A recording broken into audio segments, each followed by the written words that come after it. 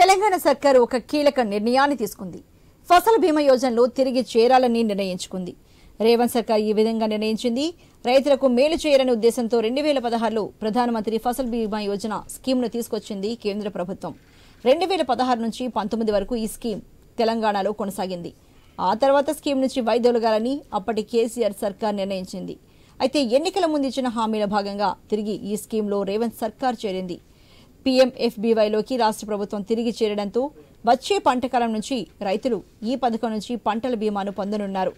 పీఎంఎఫ్బీవైతో రైతులకు ప్రయోజనం కలుగుతుందని పంటలు నష్టపోయినప్పుడు సకాలంలోనే పరిహారం అందుతుందని రితేష్ చౌహాన్ తెలియజేశారు.